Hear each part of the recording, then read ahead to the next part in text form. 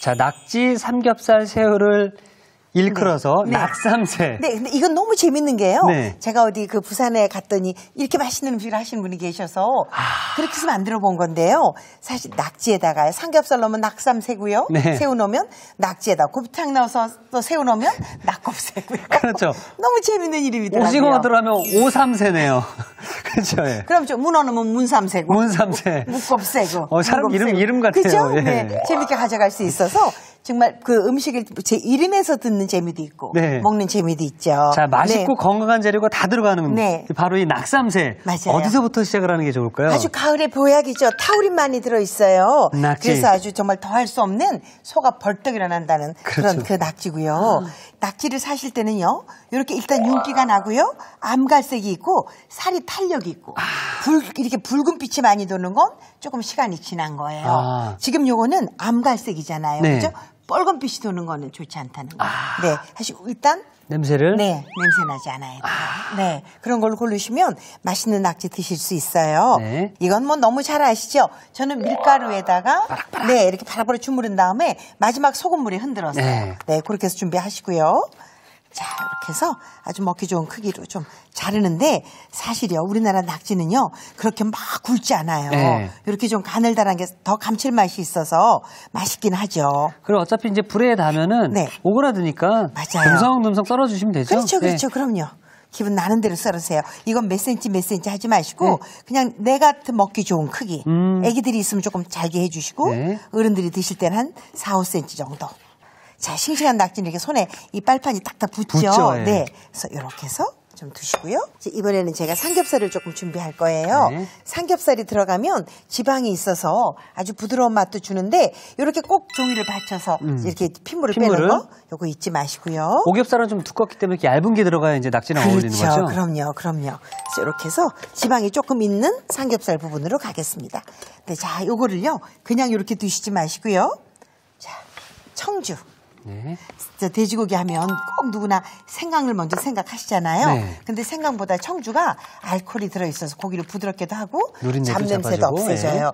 이렇게 하면 주물르면 청주가 스며들죠. 예. 고기에. 그런데도 참기름 어? 딱한 작은 술만. 참기름이. 들어가요? 그럼요. 이렇게 해서 배두면 이게 그 삼겹살의 누린내 없어지고요. 아. 고소함이 함께 가죠. 어머나 어머나.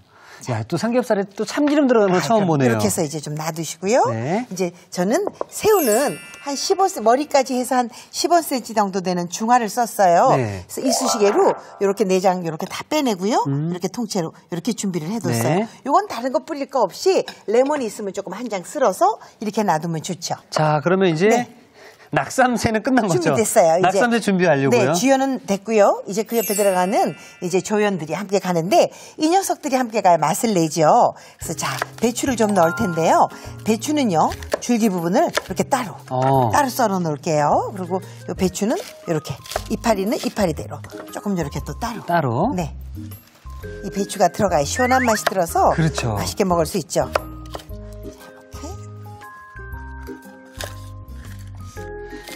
이제 배추가 점점 더 맛있어질 시기인 거죠? 그럼요. 네. 지금부터 시작해서 김장할 때까지는 이제 배추가 달아지죠.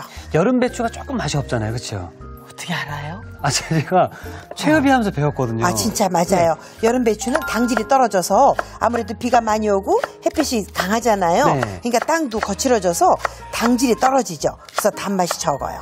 섬유질은 거칠어지고 당질은 떨어지죠. 자, 자, 이렇게 파도. 네, 파도 한 1cm 정도 두께로 이렇게 송글송글 썰어 놓고요. 자, 요거 양파예요. 이것도 좀 큼직큼직큼직 이렇게 썰어 놓죠. 네. 이제 맛을 내려면 또 매운장이 있어야 되겠죠. 양념장이 중요하죠. 예. 제가 오늘 여기에 낙삼새에 들어가는 매운장을 알려드리는데요. 네. 요거 만들어 놓으시고요. 제육볶음도 하세요. 오징어 볶음도 하세요. 생선 절일 때 양념도 하세요. 다 쓸 수 있는 그럼요. 거죠. 만능으로 쓸 수 있는 아주 편리한 양념장이에요. 네. 자, 볼 하나 큰 주시겠어요? 볼을 드릴까요? 네. 자, 고추장하고요. 이건 한 단지 만들어 놓으시고 음. 쓰시면 너무 좋아요. 고추장이에요. 고추장하고요. 고춧가루를 동량을 넣으시는데 부피로 동량을 넣는 거예요. 1대1 비율로, 네, 네. 무게로 넣는 게 아니라 한 컵이면 한 컵. 한 컵? 음. 이렇게 네, 같은 무게로 넣으시고요. 자, 사실 우리 시청자분들께서는 네. 이런 거 참 좋아하시거든요. 근데 요거 한 단지 만들어 놓으시면 정말 아주 편하게 오늘 일주일 체육비 다본 거 다보다도 이게 난 더 좋아. 이게 최고죠. 수- 그럼요. 넣어놨다가. 뭐든 사용하면 되니까. 그럼요, 그럼요. 여기다가 진간장이에요. 좀 넣으시고요. 자, 여기다가 파인애플이 파인애플. 네, 파인애플 간 거. 어. 요거는 숙성을 도와주려고 넣는 거예요. 저는 배를 넣는 건 많이 봤는데 네. 파인애플은 좀 생소하거든요. 파인애플은 구연산이 많아서 이런 그 제육볶음이나 이걸로 생선할 때 부드러움을 준단 말이죠. 아. 그래서 이걸 넣고요. 여기에 이제 아주 특별한 맛내기 방법이 들어가죠. 이제 비법 나오죠? 네. 요거는 표고버섯을 제가 갈았어요. 말 어머나, 바짝 어머나. 말려서 갈은 표고버섯 가루를 여기다 이렇게. 어머나 어머나. 근데 이. 표고버섯 가루가요. 시간이 가면 갈수록 얼마나 맛을 내는지 몰라요, 아이고, 이게. 네. 얼마나 아우 아, 전 그럼요. 이 멘트를 기다렸습니다. 자, 여기다가 생강을 생강을. 즙만 넣지 마시고 건지까지 조금 넣으세요. 음. 자, 여기다가 생강의 3배 정도의 마늘을 넣으세요. 마늘. 네. 마늘은 더 들어가도 괜찮아요. 근데 많은 양을 할 때는 마늘을 많이 넣으면 발효돼요. 어. 근데 약간 씌워질 수 있으니까 너무 많이 넣지 마세요. 적당히. 고추장이 한 컵이면 고춧가루도 한 컵이잖아요. 네. 그럴 때 마늘을 한 컵, 한 큰술 반 정도. 한 큰술 반 네, 정도? 음. 근데 취향대로 바꿀 수 있죠. 여기까지 넣으신 다음에 이제 비법이 하나 있어요. 아 또 있나요? 네. 이렇게 해서 저는 오늘 낙지볶음이라는 볶음에 넣을 거기 때문에 네. 여기에다가 놔두면 수분이 생기잖아요. 네. 낙지볶음은 또 수분 생기잖아요. 그렇죠. 럴때 이거를 넣는 거예요. 이게 뭐죠? 이게 뭐게요? 이게 밀가루는 아닌 것 네. 같고 네. 전분가루도 아닌 것 같고 이게 이거 뭐죠? 전분가루 넣으면 미끌거리죠. 네. 요거 찹쌀가루예요. 어머나, 어머나, 네. 어머나. 찹쌀도 당질이 많아서 쌀가루보다는 많이 단맛이 있잖아요. 네. 그래서 요걸 넣어주는데 이거 왜 넣어주게요? 아까 말씀하신 걸 약간 네. 좀 생각을 해보면은 네. 낙지에도 물이 많이 생기고 양념에도 물이 생기니까 혹시 수분을 잡아주는 거예요? 그럼요. 어머나, 어머나, 이렇게 해서 삭혀 드시면 아주 할 때마다 굳이 뭐 녹말가루 어딨어 쌀가루 안 찾으셔도 네. 얼마든지 갈 수 있죠. 자, 이게 오늘 콕포인트가 될 수 있을 것 같은데요. 양념장에 찹쌀가루를 함께 넣어주시게 되면은 어, 재료를 볶을 때 수- 생기는 수분을 막아줄 수 있다고 합니다. 네. 자, 이렇게 해서 이제 여기다가 저는 물엿 넣어요.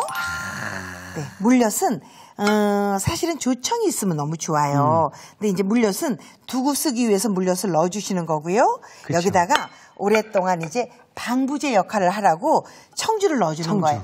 이거 포인트예요. 잘 외워두세요. 청주를 미리 섞으면 씁쓸한 맛이 돌아요. 아. 근데 물엿을 넣은 다음에 섞으시면 물엿이 단맛을 주니까 청주가 들어가도 이렇게 괴물처럼 괴이지 않고요. 아. 주 아주 자연스러운 단맛을 줘요. 아, 이렇게 되면 보관 방법, 바- 어, 기간도 길어지고. 네, 네, 예. 그럼요. 맨 나중에 물엿 넣으신 다음에 마지막에 청주 넣으시는 거예요. 이것만 잊지 않으시면 이건 너무 맛있어요. 한 일주일은 거뜬히 넘길 수 있겠네요. 이게 일주일이 뭐예요? 이거 있으면 네. 이특 씨 혼자 사시는 분이 이거 한 달도 드실 것 같은데. 그러겠네요. 예. 네. 어머나, 어머나. 이렇게 해서 이제 팬을 조금 달궜어요. 네. 일단 이렇게 좀 주물 팬을 오늘 쓰는데 재료를 속까지 있게 해줘서 아. 주 깊은 맛을 내게 하는 강점이 있거든요. 자, 저는 여기다 조금 달군 데다가 이렇게 기름을 조금 둘게요. 야, 요런 데다 해 먹으면 밖에서 사 먹는 그런 느낌 나겠네요. 그럼요. 그래서 네. 탁식하게 올리면 너무 기분 좋죠. 네. 자, 여기다가 채소 이렇게 넣어요. 저는 자, 이렇게 해서 파를 또 이렇게 양파를 좀 넣어요. 자, 파는 남겨 두시고요. 네. 여기다가 삼겹살. 삼겹살. 삼겹살이 제일 먼저 들어가네요. 네, 양파를 먼저 이렇게 하면 살짝 굽는 느낌이 나죠? 네. 여기다가 이렇게 삼겹살을 좀 넣으세요. 삼이 먼저 들어가고요. 아, 그럼요. 예. 자, 왜냐하면 미리 들어가면 낙지는 빨리 굳잖아요. 그렇죠. 그러니까 질겨지고. 네, 이거부터 먼저 이렇게 해서 살짝 구워주는데요. 급할 때 한꺼번에 다 넣어도 너무 재밌어요. 아. 어, 새우도 좀 이렇게 넣어주시고요. 여기다가 낙지. 네. 낙지 이렇게 넣으신 다음에 근데 이건 너무 재밌어요. 이제 육수를 전 오늘 다시마 육수를 쓸 건데요. 육수를 많이 넣으면 전골되고요. 작게 넣으면 이렇게 짜글짜글 짜글이가 되죠. 짜글이. 아, 예. 볶아서 짤박이라고도 하고 짜글이라고도 하죠. 육, 저 다시마를요 불에다 슬쩍 구우세요. 어. 그렇게 구운 다음에 미지근한 물에다가 한 15분 정도 담궈 놓으시면 맛있는 다시마 육수가 되잖아요. 요거 이렇게 부으세요. 깊은 맛에 깊은 맛에 깊은 맛을 그렇죠. 더했네요. 그럼요, 그럼요. 육수를 좀 미리 더 해놓으시고 요거를 드시면서 중간 중간 부으셔도 돼요. 자 여기에다가 이제 저는 아까 만들어 놓은 매운장, 매운장. 네, 매운장을 여기다 넣었는데 자 보세요. 이렇게 해서 어머. 원하는 취향대로. 야, 이거 밖에서 사 먹는 거예요, 네. 그냥. 이거는 와. 뭐몇 그램 몇 그램 할 거 없이 네. 내가 얼큰한 게 좋아? 그러면 여기다 더 넣으면 더 되고요. 넣고. 청양고추 조금 다져 넣으면 되고 아니 아니 난 너무 매운 거 싫어. 음. 그러면 조금 덜 넣으면 되고 조절하세요. 자 이렇게 가시면 돼요. 자, 이제 불에 잘 이제 그 익, 익혀주기만 하면 되는 거잖아요, 그렇죠? 그럼요. 이렇게 한 다음에 이제 제가 불려놓은 당면이 거기 있죠? 네. 자, 이렇게 해서 한꺼번에 때려 넣는 거예요. 아, 때려놓는 네, 저는 이건 너무 재밌어요. 아. 이렇게 해서 물에 당면만 살짝 불려서 함께 가면 좋은데 오늘은 우리 당면을 제가 썼잖아요. 납작한 감자 그 전분으로 만든 당면이 있어요. 있죠, 예. 그거 쓰면 더, 더 초록한 게 맛있죠. 그것도 식감이 네. 좋잖아요. 그럼요, 네. 그럼요. 요렇게. 요렇게 해서 이제 끓을 어머나, 때까지만 기다리면 되는 거죠. 아. 음. 요거 이렇게 만들어서 네. 집에 식구들이 이렇게 모여가지고 네. 불판에 올려 같이 먹으면 그럼요. 아우 그럼요, 그럼요. 특히 아들하고 아버지가 같이 함께 사는 데에는 네. 더더욱 좋죠. 난리 납니다. 그럼요. 뭐 여기다 떡을 좀 넣어 들어가도 맛있겠네요. 떡 넣어도 되고요. 네. 라면 사리 넣어도 되고요. 우동 넣어서. 우동면 넣어서 그렇게 볶아 먹어도 되고요. 나중에 다 드시고 나서 밥 볶아도 맛있고. 볶음밥까지. 네. 이건 넣 이게 신혼 부부들 왜 오래간만에 주말 부부들 있잖아요. 네. 이거 하나 놓고 앉아서 드런드런 얘기하면서 더 그렇죠. 즐겁게. 그리고 확실히 아까 우리 선생님께서 여기 양, 양념장에다가 찹쌀가루를 넣어주셔서 네. 그런지 잘 박해요. 만약에 그게 안 들어갔다면 이미 물이 이만큼 나왔는데 아, 그럼요. 넘쳤겠네요. 그럼요, 그럼요. 어. 네. 그리고 이게 육수를 또 부어줘서 이거 자글자글하게 국물 이렇게 떠먹어 가면서 그렇게 만들려고요. 어, 선생님 이제 막 볼볼 끓기 끓어오르는데 시작하죠. 이제 맛의 진수가 여기에 있어요. 맛의 진수? 이제 네 파를 이렇게 한 1cm 정도 두께로 어. 썰어서 파를 좀 넉넉히 넣으세요. 저기 썰어놓은 거 좀 더 주시겠어요? 네. 예. 그래서 이 파를 많이 넣어요. 진- 굉장히 많이 네, 들어가는데요. 파를 많이 이렇게 넣어서 이 파가 파를 나중에 넣으시는 게 더 맛이 있어요. 아. 처음부터 넣으면 파가 후들어져가지고 약간 요즘 파는 질기거든요. 예. 네, 이렇게 해서 이제 파를 넣어서 같이 익혀가는 거예요. 그러면서 이 파가 익으면서 또 주는 맛이 있어서 아주 맛있죠. 그리고 또 늦게 넣으니까 네. 위에 또 색감상으로도 잘 어울리네요. 네, 네, 네. 이렇게 해서 이렇게 해서 한 2분만 이제 더 끓여주시면 돼요. 자, 그럼 저는 완성 접시를 미리 준비해 놓도록 하겠습니다. 자, 오늘 아주 어, 우리 멋지게 먹어보게요. 그냥 외식할 필요가 없겠네요. 그럼요. 예. 이거 이렇게 드시면 되죠. 와, 어떤 뭐 식기들까지 그냥 느낌 자체가 아, 그럼요, 그럼요. 그냥 외식이네요. 그죠, 그죠. 우리 가정에서 이렇게 먹으면 사실 엄마가 조금 힘들어도 네. 대신 설거지는 아빠가 하시겠죠, 뭐. 도와줘야죠. 그죠? 예. 네. 이게 가정이죠. 그리고 사실 요리하는 사람들의 가장 좀 힘든 게 설거지가 좀 귀찮더라고요. 할, 일할 땐 정신없이 하는데 설거지 하라 그러면 좀 화가 나잖아요. 그러니까요. 설거지만 도와주면 요리 책임지겠습니다. 자, 위에다가 이렇게. 어머나, 어머나. 야, 엄마 오늘 저녁은 뭐야? 낙삼새. 자, 이렇게 해서 이제 매운맛이 더 좋으시면 매운 걸 조금 더 얹으셔서 얹으시고. 드셔, 드시면 되죠. 야, 정말 푸짐하게 네, 이렇게. 낙지 삼겹살 새우 볶음이 완성되었습니다.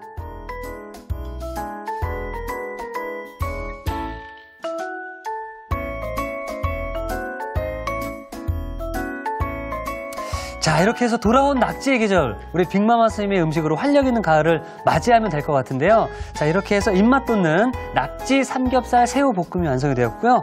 자, 여기서 끝이 아니죠, 선생님? 네, 그럼요. 이렇게 먹고 나면 또 조금 아쉬운 게 있죠. 맞습니다, 예. 우리 뭐니 뭐니 해도 그저 밥 한 숟가락 볶아서 마무리를 딱 해야 기분이 좋잖아요. 남은 국물, 남은 조금 건지 가져다가 낙삼새 볶음밥 하겠습니다. 낙삼새 볶음밥. 네. 낙삼새 복이죠? 네. 예. 네. 자, 우선 이제 아까 팬에 제가 접시에 덜어내고 이렇게 남았어요. 조금 재료가. 항상 근데 먹다 보면 네. 요렇게 남더라고요. 요, 그죠? 네. 이렇게 남을 때, 요때 지금 아쉬워서 제가 여기다가 아까 파를 많이 넣었잖아요. 네. 이게 포인트는 파예요. 이게 파가 주는 맛이 네. 아주 기가 막혀서 요 파를 넣고 요거를 조금 국물이 자글자글하게 조금만 온도를 데워주세요. 아. 특히나 이런 무쇠소스 할 때는 온도를 좀 바짝 끌어올려 주시면 음. 훨씬 더 맛있는 아주 단박에, 단박에 하는 볶음밥 할수 그렇죠. 있죠. 이게 배가 따로 있는 것 같아요. 맞아요. 볶음밥에 따로, 그냥 맞아요. 볶음, 볶음만 먹는 배가 따로 있고. 맞아요, 네. 맞아요. 자, 이렇게 해서 이제 국물이 한 두세 숟가락 정도 이렇게 남잖아요. 네. 이렇게 만약에 그 국물이 없으면 물을 조금 부어주세요. 네. 밥을 여기다가 자, 요 밥이 조금 지금 식어 있는데요. 이럴 때는 전자레인지에 한 30초만 돌려주시고. 땡 돌리시면 훨씬 더 밥, 저 볶음밥 하기가 편하죠. 음, 자, 이득시 많이 먹을 것 같아서 다 할까 봐요. 네, 어우. 야, 보고만 있어도 그냥, 어, 아유, 맛있죠. 그냥 뭐. 미치겠네요, 그냥. 그죠? 아니, 저 우리나라 사람들은 이 마지막에 남은 양념이 졸여지잖아요. 네. 그 맛있는 맛을 기가 막히게 즐기죠. 이 볶음밥 문화는 우리나라에 좀 특화된 문화죠. 맞아요, 맞아요. 네. 사실 볶음밥은 중국 요리긴 한데요. 이게 이렇게 해서 먹는 우리 양념에 섞인 볶음밥은 아예 중국 사람들도 이거 알면 지네 거 안 먹을 거요. 이거 따라 할 걸요? 그럼요, 그럼요. 자, 이렇게 해주신 다음에 이제 여기다 밥이 다 이렇게 좀 이제 양념이 골고루 묻었어요. 그러면 미나리예요. 미나리. 네, 미나리 대를 조금 이렇게 넣고요. 자, 여기다가 저는 당근. 당근, 넣고요. 색깔도 예쁘네요. 그죠? 여기다가 양파. 양파. 네, 이렇게 넣어서 양념이 아무래도 진하게 몰려 있으니까 그 양념에 진한 거를 이런 채소들로 조금 조금 희석시켜 주는 거죠. 어머나 이럴 때 더 매콤한 게 좋으시면 아까 매운장 조금, 더 조금 더 넣으셔서 취향대로 드시면 돼요. 냉장고에 이만큼 있잖아요. 맞아요. 네. 그럼요. 자, 여기다가 이제 저는 김을 좀 넣고요. 김은 좀 많은 게 좋더라고요. 그렇죠. 예. 네. 자, 이렇게 해서 왠지 넣고. 볶음밥에 김 빠지면 서운하거든요. 맞아요. 맞아요. 가운데를 파요. 파서 전 여기다가 달걀 하나를 하나 또 넣어요. 이렇게. 넣고 여기다가 이제 참기름. 참기름을. 그렇죠. 아, 이렇게 해서 눌러진 상태로 한 2, 3분만. 밑에 그 누룽지 생기. 네. 그- 그거 마지막으로 팍팍 긁어 먹는 게 오늘 바깥 계산할 사람. 제일 맛이 있죠. 이렇게 해서 한 2, 3분만 저는 두겠습니다. 네. 자, 그럼 저는 완성 접시를 미리 좀 준비해 놓도록 하겠습니다. 이 상태로 놔둬도 참 예쁠 것 같은데. 그죠 사실은 네. 이렇게 해서 올려놓고 먹으면 딱 이 주물이 주는 그 아주 그 무거 묵직함이 타지 않아서 그쵸. 맛있잖아요. 여기다가 이렇게 해서 그리고 볶음밥은 이렇게 해서 음. 그냥 그대로 먹어야 또 아이, 볶음밥인 거죠. 그럼요, 예. 그럼요, 그럼요. 자, 이렇게 하면서 계란은 이렇게 터트려줘서? 살짝 네 볶으면서 계란을 익혀요. 반숙 계란처럼. 밥이 훨씬 더 부드러워지겠네요. 아, 그럼요, 그럼요. 아. 이렇게 해서 야, 정말 이 볶음밥이 복을 가져다 주네요. 이거 밥 푸면서 누가 낙지 집어갈까 봐 벌써 불안해요. 자, 이렇게 이렇게 해서 밥 완성했습니다.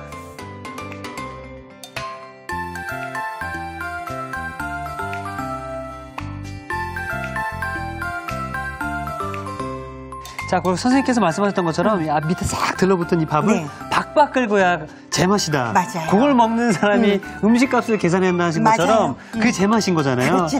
자, 이렇게 해서 낙삼새 볶음밥이 완성되었습니다. 여러분의 밥상을 더욱 특별하고 맛있게 오늘의 콕포인트를 살펴볼까요? 인기 만점 낙지 삼겹살 새우 볶음 집에서도 맛깔나게 만드는 비법을 공개합니다. 양념장을 만들 때 찹쌀가루를 넣어주는 게 키포인트.